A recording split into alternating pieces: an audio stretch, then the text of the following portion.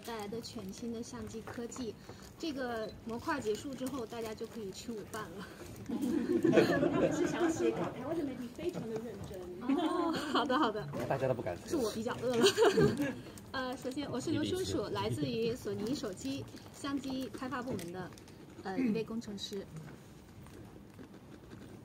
那这次呢，想为您介绍呃索尼最新推出的 Motion Eye 的这个科技，它是呃由三层结构来组成，首先是感光层，第二个是记忆体层，最后一个是图像处理层。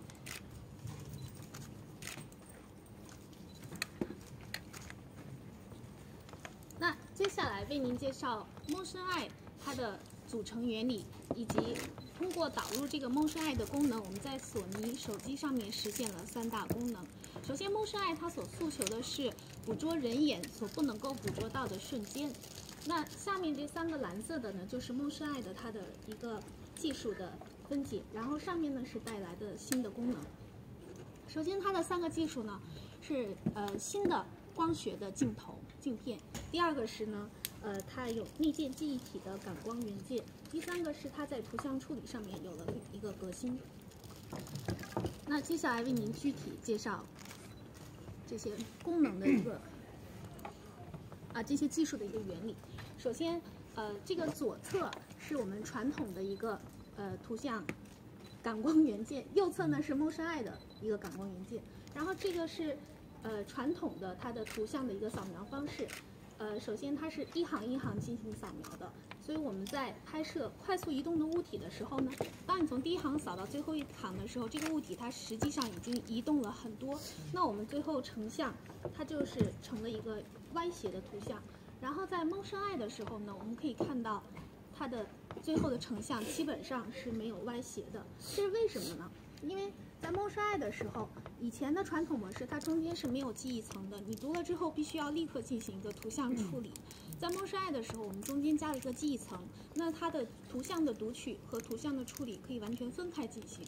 这样，它我们在那个图像读取的时候，呃，比传统模式提高了五倍的速度。这样子就造成了没有这个图像的歪斜。然后我们这个最后带来的功能是一个防变形快门的功能。那接下来，这是一个原理图，为您展示一下实际拍摄的时候的这样的一个效果。这个呃，拍摄者是站在一个快速行驶的列车中，上图是拍摄反方向过来的一个列车，然后下图是拍摄列车外面一个静止的建筑物。所以上图其实是列车速度的两倍，在这个两倍的情况下。呃，图像的这个防歪斜能够做到这样的一个效果，可以看到静止化拍摄静止物体和动态的物体，这个歪防歪斜都有一个非常大程度的改善。那接下来为您介绍，呃，手机里面它通过导入这个 Motion Eye 所带来的超级慢动作录影的一个功能。首先，它的这个原理是我们在按下。正常的录画的按钮的时候，它是以正常的三十 FPS 来进行录画的。然后，当我们按下这个超级慢动作录影这个按钮的时候，它会是以九百六十 FPS，呃，回溯零点八秒。然后在你播放的时候，它会把这个九百六十 FPS 按照三十 FPS 的速度来播放出来，就是正常我们拍摄的三十二分之一，每三十二分之一间隔，它会存入一张照片。然后这样我们在拍摄的时候，大概是能看到一个六秒钟的慢动作的画面。那接下来为您展示一下市面上，呃，现在一般都是二百四十 FPS 的一个慢动作的摄影和九百六十 FPS，它会有带来一个什么样不同的效果？可以看到。九百六十 fps，在这个水球爆炸的瞬间，那个水球的形状还是保存的非常的完好的。然后在这个水球破裂的每一个瞬间，我们都能够看得非常清楚。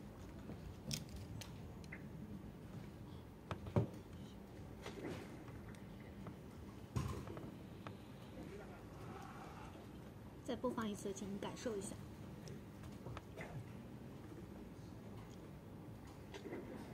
可以看到九百六十 fps 能够清楚的记录每一个瞬间。那接下来为您介绍，呃，第二个带来的新功能是预拍功能。呃，刚才是录像，现在是拍摄静止画的时候的一个功能。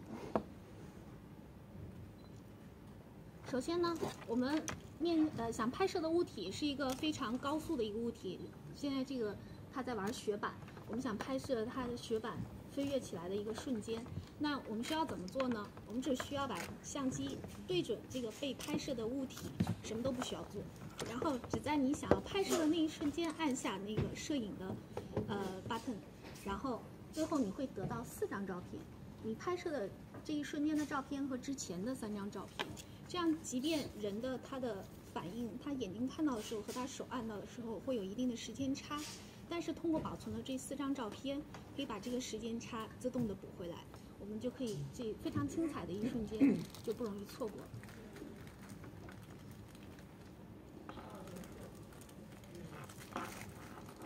那接下来为您介绍，呃，带来的第三点非常高质量的一个成像的改善。想通过这几个角度，首先是白天摄影的时候的它的一个细节处理，然后夜晚的成像质量、色彩的还原，然后相机的快门速度以及全景模式和夜晚的录像模式都有什么样的改善？首先，这是使用新的 Motion Eye 拍摄出来的一个白天的风景的照片。呃，中间的部分可以看到成像度，呃，解像度是非常好的。但是图像的四周呢，它解像度跟中间是基本上没有区别的。这个其实是很难介绍的。接下来为您介绍这个原理。能够实现这样一个功能呢，是我们导入了新的光学的 G lens。它呃，就是首先这幅图里面，横轴呢，零的位置是画面的中心位置，百分之百的位置是画面最边缘的位置。然后纵轴是它的一个画面的解像度，零是非常低的，一是非常高的。然后蓝色的线呢是以前的版本，绿色的线是这一次我们导入的一个版本。可以看到蓝色的线，它在画面的中心和画面的四周的时候，成像的画质是有一个明显的下降的趋势。但是在导入了 G Lens 的这个绿色的线的时候，它的中间，它的最边缘的这个地方有了一个很明显的提升，大概是百分之二十五。那接下来为您实际演示对比一下这个效果。右侧呢是以前的版本，左侧的是 Premiere 所带来的效果。然后现在画面展示的这个大部分是画面边缘的这里的一个细节，可以看到很明显成像质量的不同，已经不需要我再说什么了。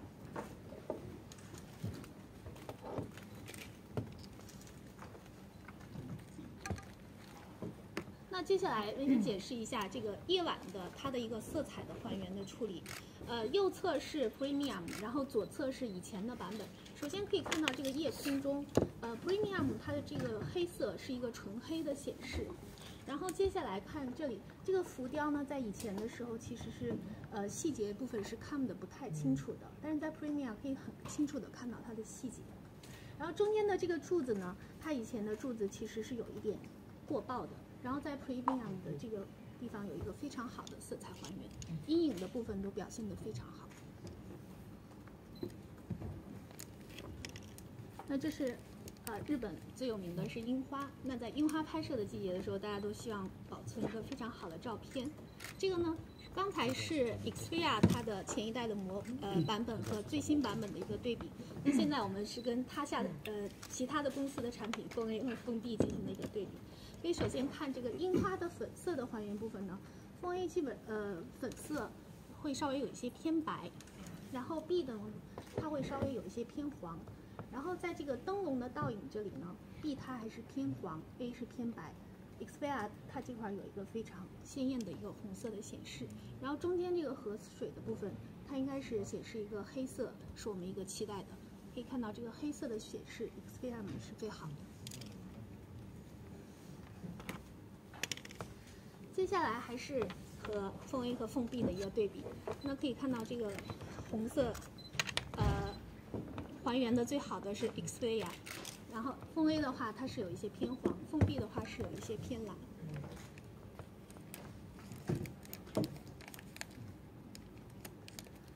那接下来为您介绍这个对焦速度的一个进化。横轴呢是从 Z 三、Z 五到 XZ 和 XZ 的呃 Premium 的一个对焦速度的比较。然后蓝色的线呢是白天的对焦速度，绿色的线是夜晚的对焦速度。在 Z 五的这个时间，呃，Z 五的这个版本上，我们导入了相位差对焦，这样使它的那个对焦的速度从五百 ms 提升到了一百 ms 以下。然后在 XZ 的时候呢，我们导入了镭射对焦，镭射对焦使得夜晚的对焦速度由八百提升到了四百，它的速度快了一倍。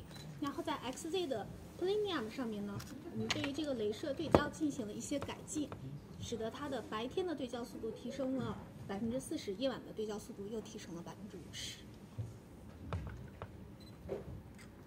那接下来是呃全景的照片模式所带来的一个改进。首先，它的最高的解像度能够达到四千到两万七千，然后我们现在可以可以在任何角度随时停止这个全景模式的拍摄。另外，在三百六十度成像的这个效果上，它有一个非常明显的一个改进。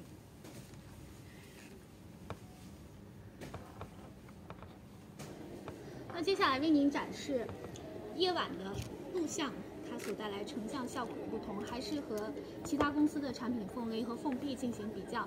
首先，请您关注这个玻璃以及玻璃内部的室内的一个色彩的还原。可以看到 Xperia 它的室内的细节是可以看得非常清楚的。然后凤 A 的话呢，这个灯光的地方它会有一些过曝，封闭的地方灯光的地方也会有一些过曝。其实室内的场景您看的不是非常的清楚，啊，如果看不清的话，可以到前面来。那第二个地方呢，请关注一下这个薯条，薯条的色彩还原 Xperia 是最好的。凤 A 的话，薯条的这里它是有一些白色的过曝，然后凤 B 的话，它这里有一些偏红。那最后，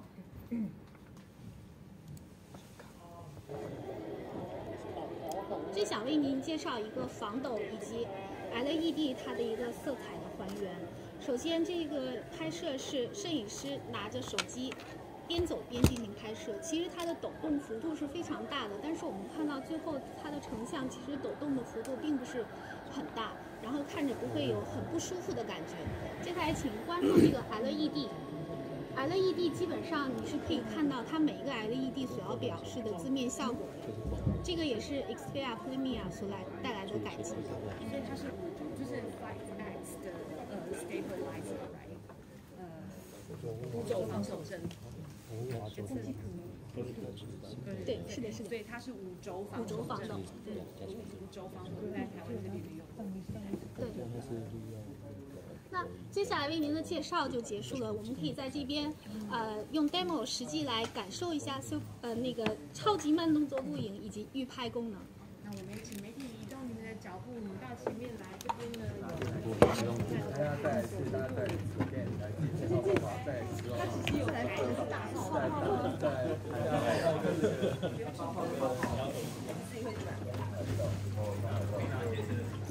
三号，大。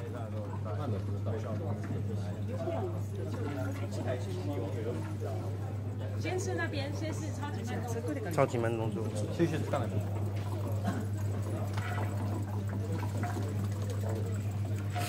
欢迎大家拿着自己的测试机。